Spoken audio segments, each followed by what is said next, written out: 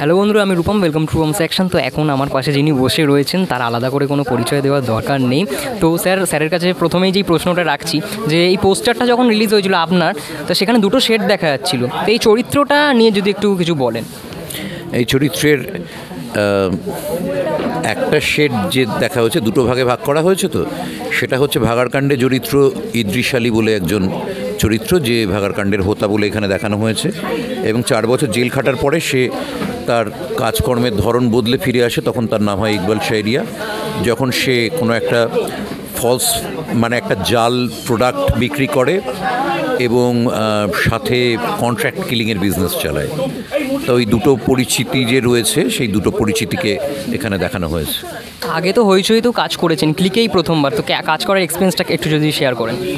ভালো লেগেছে কাজ করতে খুব বেশি দিনের কাজ যদিও ছিল না কিন্তু দশ দিনের হ্যাঁ হ্যাঁ। না দশ দিনের মতো আমার কাজ ছিল না। আমার কাজ তুলনামূলকভাবে আরও শর্ট স্প্যানে ছিল। ভালো লেগেছে। রাজদীপ তো অনেক পুরনো বন্ধু।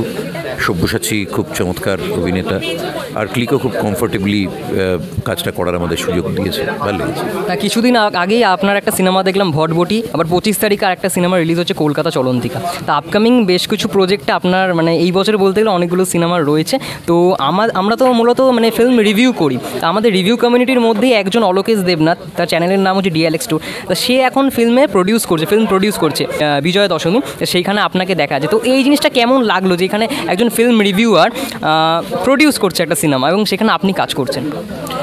আমি আসলে এত সোশ্যাল মিডিয়ায় কম থাকি ও যে রিভিউয়ার সেটা আমি জানতাম না। আমি তোমার কাছ থেকে প্রথম শুনলাম।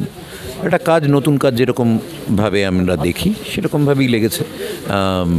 একজন নতুন ছেলে ছবি বানিয়েছে ভালোই বানিয়েছে মানে ক্রমশ নিশ্চয়ই আরও বেটার বানাবে।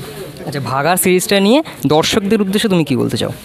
ভাগার দেখুন হ্যাশট্যাগ ভাগার হ্যাশট্যাগ ভাগার দেখুন। Thank you so much